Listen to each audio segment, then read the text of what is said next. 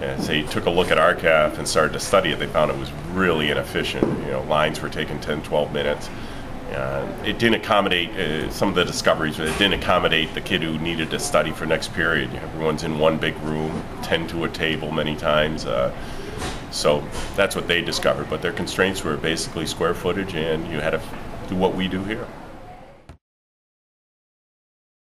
Uh, what I've done here is this is my level one floor plan, and with this I'm able to um, put in all the kinds of different seating and things like that that I'm going to need, and it just makes things move a lot faster. And like you can see here, we have the 3D element. Um, 3D element really gets your idea across and helps you see things of what it'll be like on a real scale. Yeah, basically, I wanted to have a more of a separation between uh, study and cafeteria. So basically, people that want to have a private study moment can be totally away from people are eating downstairs, but still be able to see they're there and their friends and what they're doing and want to leave or whatever.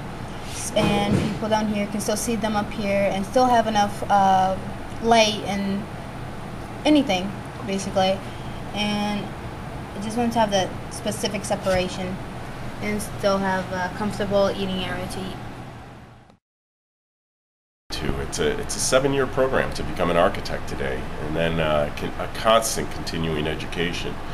It's a field also where approximately 5% of homes and remodels done in this country are done by architects, are actually designed. The vast majority of them are not, don't have any trained designer on them, but are stock plans that are adapted. Uh, 3D view. You got the 25, you got the walls, the curtain walls, which allow for an open idea, allow the people to see, get an outside view. Um, you got the curtain walls in general, you got the door right here for the entrances. Um, overall, I'm trying to create an open plan that allows you getting an open view, but still have enough room to incorporate plenty of seating and plenty of space at the same time uh, places for kids to study. They want to sit by themselves. They can sit at the bar stools. They want to sit with their friends. You got the round tables and the lunch tables. You want to just sit in a comfortable padded booth and look out.